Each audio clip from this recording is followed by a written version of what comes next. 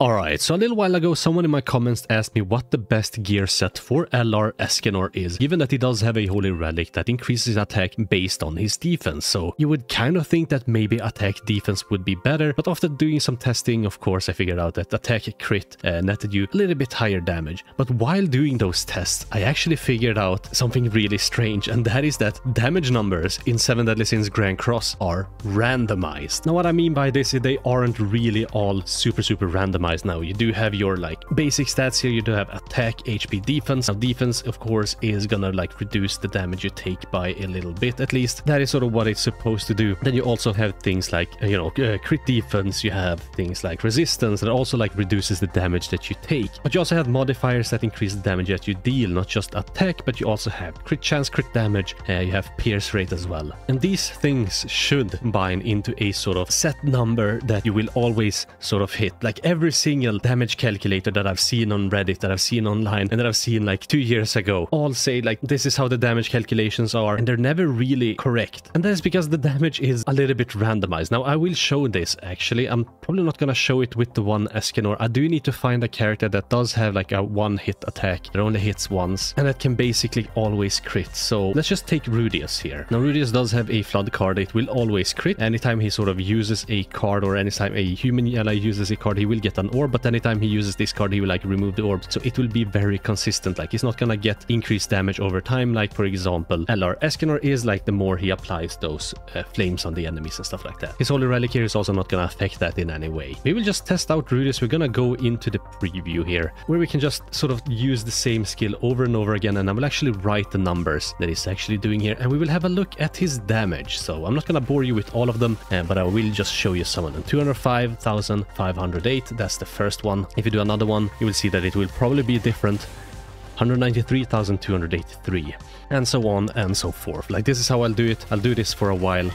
Uh, 200,269 and we will get sort of uh, different types of numbers here so I will just mark these as A, B, and C and you will sort of see later like we will get the exact same numbers here as well probably 195,030 so it's not quite the same just yet this is actually strange 203,762. We haven't had that one yet. 762. I don't think I've ever had this happen before where I get five of the numbers. 193 to 83. We've had that one before, as, as you can see here. This is actually really strange. I don't think that's ever happened here. But as you will see, more and more of like the same numbers will appear and there is a correlation between them.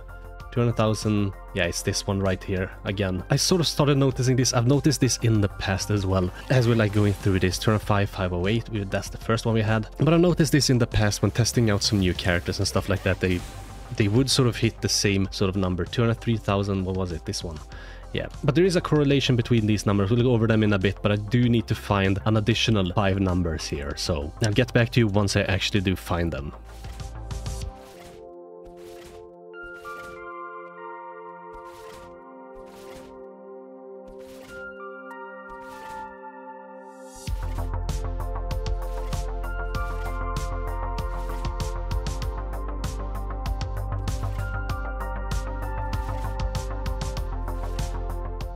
Alright, so I actually think I found all of them right here. Now let me just double check. So 207, I don't have it here, I don't have it here, not here, not here. That's 202, 203, 195, 193, 205. Okay, so they do appear to go all the way from 191,537 to, is this one the highest one? 207,255. So I'm just gonna put them in numerical order and we'll have a look at them. Okay, so down here we do have them in numerical order. So 191,537 all the way to 207,200. 155. Now there is a correlation between these numbers. And if we bring up a calculator here, we can actually see what that correlation is. We will have a look here. So what I will do is I'm going to take this number right here and I will subtract this number here and we get 1746 now this all seems a little bit mathy a little bit annoying perhaps. I'm just going to remove all of these and we're just going to have a look at differences. So if we do have a look at this, this difference right here so for example if i reset this we do that one and we subtract this one we do get 17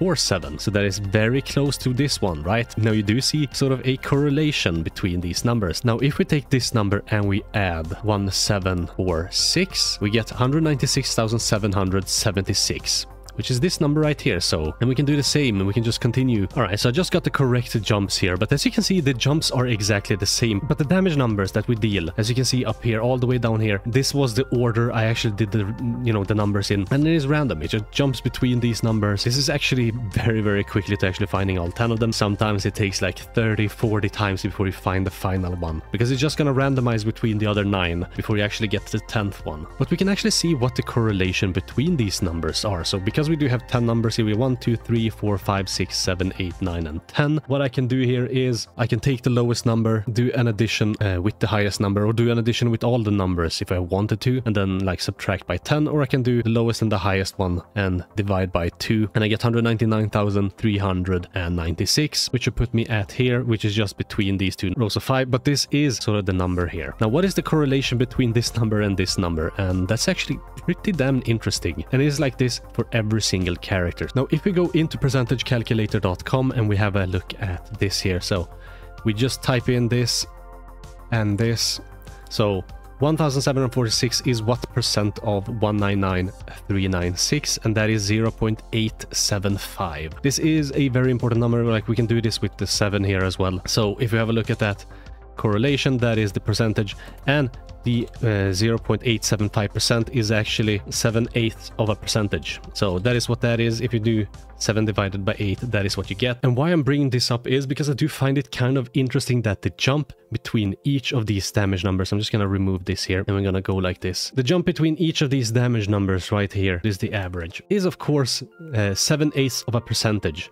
So from this, it's 7 eighths of percentage to this, which is 7 eighths of percentage to this, all the way up here. So the total difference between these comes out to plus minus 7.875% damage difference. So for each attack that you deal, not accounting for like any sort of difference in the enemy's sort of resistance or whatever, not the enemy's defense. And of course, like you can buff up with Luda Margaret, for example, and then you will take less damage. It doesn't calculate for anything of that, but it does sort of show us the difference between like the damage numbers. And this isn't an insignificant number. It's almost 8%, and 8% can be huge. Sometimes it's gonna make the difference between like being able to kill someone and not being able to kill someone. But I just found that to be interesting. It's just something that I kind of wanted to bring to everyone's attention that that is a sort of mechanic in the game. There is a randomness on top of the like regular randomness that you have with sort of being able to crit or not being able to crit.